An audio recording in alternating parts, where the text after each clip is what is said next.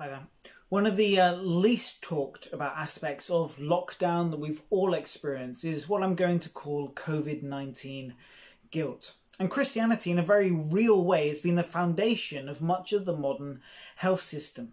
For most of the past 1,000 years, hospitals have been run by, by monks and nuns in monasteries. Traditionally, nurses in the UK were called sisters due to the fact that so many who had occupied that sort of role previously had been nuns. In France, at the turn of the 20th century, the country's 1,500 hospitals were operated by 15,000 nuns representing over 200 various religious orders.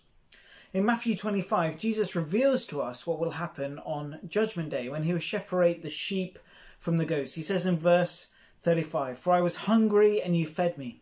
I was thirsty and you gave me a drink. I was a stranger and you invited me into your home. I was naked and you gave me clothing. I was sick and you cared for me. I was in prison and you visited me. He adds, I tell you the truth, what you did for even the least of these of my brothers and sisters, you were doing it to me. And Jesus in Matthew 7 21 says, Not everyone who calls out to me, Lord, Lord, will enter the kingdom of heaven, but only those who actually do the will of my Father will enter. And these passages are the sort of passages that, when we come across, can cause us COVID 19 guilt. We can feel guilty that we're not doing enough, that perhaps we've abandoned our post, that we're cowards because we're hiding away from those who are suffering and in need of our love and care. In 1855, Spurgeon, the, the Victorian preacher, said, uh, Who is the man who does not fear to die? I will tell you, that man is a believer. Fear to die? Thank God I do not. The cholera may come again next summer. I pray to God it may not. But if it does, it matters not to me. I will toil and visit the sick by day and by by night and by day until I drop. And if it takes me, sudden death is sudden glory. And our time in 1855 are very different. 1855, people still believe that bad smells are what cause disease. Spurgeon himself, uh, in Preventing Cholera, wrote, The gospel has no quarrel with ventilation. Uh, it's not until the late 19th century, with Pasteur, with Koch, and with Lister, that germ theory becomes popular, it becomes accepted. In the 1850s, it's before the era of telephones, of Zoom, of video chat, of YouTube and FaceTime. If you wanted to encourage a sick or a dying believer, you, you have to go and visit them. Hospitals as they exist today also did not exist. Spurgeon admits, however, I gave myself up with a, a youthful ardour to the visitation of the sick, and I was sent uh, from all the corners of the district by persons of all ranks and religions. But soon I became weary in body, sick at heart. My friends seemed to be falling one by one, and I felt or fancied that I was sickening like those around me. A little more work and weeping would have laid me low among the rest. I felt that my burden was heavier than I could bear, and I was ready to sink under it. Uh, one, you can see the state of his heart there. You know, he's just wore himself out ragged trying to go around and minister to people.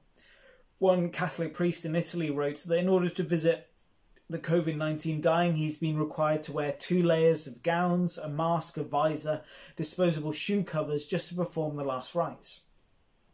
We now know about viruses and about bacteria. We don't need to visit people physically in order to comfort, build up, and encourage one another. We've got telephones, we've got Zooms, we've got YouTube, we've got a variety of approaches yeah, or tools in our toolkit that we can use today. Visiting people house to house in times and place would be a complete violation of Romans 13. John uh, Paul writes, "Everyone must submit to governing authorities, for all authority comes from God." and those who in positions of authority have been placed there by God. So anyone who rebels against authority uh, is rebelling against God, what God has instituted, and they will be punished. So keeping ourselves isolated, if that's what the government recommends, and you know over this winter period, that definitely might what be it recommends in some some places and in some times um, is in keeping with the greatest commandment from Mark 12 30 to 31. Love your neighbor as yourself. We isolate in order to protect our neighbours. We know about viruses. We, we know about germs now. We, we know about bacteria. They didn't know that in Spurgeon's day, but we know now what causes it. It's not bad smells or anything else. It is a virus. One uh, megachurch in South Korea was identified as a super spreader of the virus there because they chose not to obey the rules. Um, we need to keep the main thing the main thing. Whatever we do, let us love our neighbours by telling them about Jesus.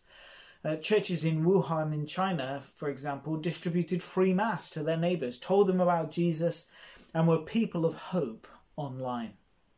Friends, we can do the same.